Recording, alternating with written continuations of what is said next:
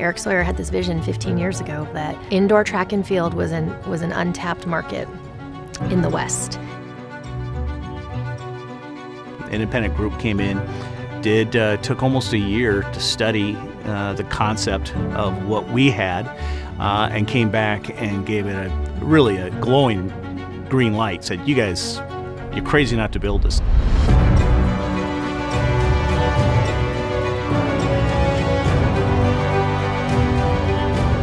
Podium is a multi-sport, world-class facility that uh, hosts primarily track and field events, uh, volleyball, basketball, and mat sports. The whole package of what we have here is the location and how you can check into a hotel. You don't need to rent a car. You can walk here.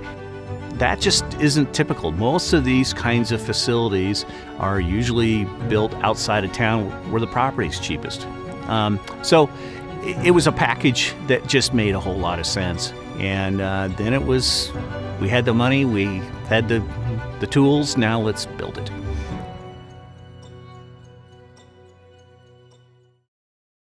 There was a lot of thought put into this building, making sure that it is an elite venue. Uh, as we went through this progressive design, we always had that. We want to make a world class venue. Let's make sure we consider that. As a designer, if you have to be able to design to a budget, you have to be able to design to a program, and you, you, you need to be able to take influence from your site, but being able to think about what an athlete wants to experience. I say this with all of our architecture, you know, people aren't coming to our architecture to see the building. They're, they're coming there to experience, especially a sporting facility like this, to experience what's going on in the building. Um, so your architecture really needs to complement that. It needs to flow people through the right way. It needs to get them excited as they're approaching it, right? You want to build that excitement in what they're coming to see. So we decided, you know what, we have a box. we have an 80,000 square foot box that we have to deal with. So let's spend our money on this piece that's inserted into the box, which is the speed. You know, this is the, the fast, uh, strong portion of this building and as athletes come into the building, that's what we want them to feel. We want them to feel like they're coming into a facility where they can set records, you know, where they can do amazing things. The building has beautiful architecture. It's spacious. It's got beautiful glass, beautiful views. So how do we enhance that? And that's the role of experiential design, is to create some emotion and add color and life and personality to that. And uh, I think that's why we were brought in on the project, was to help the project achieve a certain effect. So when people come here, they remember it, and it's really, really positive. It's definitely special because it will become an icon, you know, for Spokane. Like you see the Spokane skyline, you see the clock tower, the arena. We'll see, you know, the podium on there too.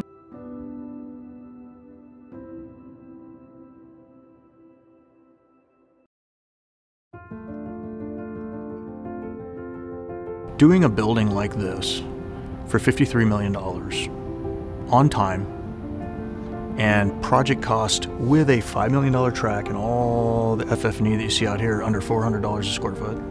I think that that only happens with a progressive design build. It only happens with a great owner that gives you clear direction. And I think that's the story that, that needs to be told when we talk about this building. In this process, you just feel so much more like you're working as a team. It's not just you're working with the contractor who's then, you know, hiring the architect from the very day one. It's just much more collaborative, I think. With a design build, you've got a different mentality with the whole team. If you can get everybody thinking of project first versus themselves or their company first, you can address all of those problems as a team. Whether it's a geotechnical issue or it's a civil grading issue is you've, you've got everybody on the same page. They want to do what's best for the project. While the uh, all phases of the project had their complexities, um, the the teamwork that that we enjoyed throughout the course of the project really helped it really helped it feel simple at the end of the day.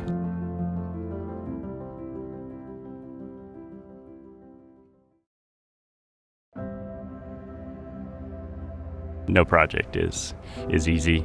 They're all a challenge. Uh, this one, I mean, starting with the site, the site was a huge challenge. You know, a lot of rock to keep costs. under control. They couldn't just, you know, wholesale remove rock throughout the whole site. So early on, we had to work with our design build partners to identify zones uh, for where rock removal was required. When we were looking at blasting, the finished floor elevation, you know, if we wanted to lift the building up more to stay out of that or, or lower it.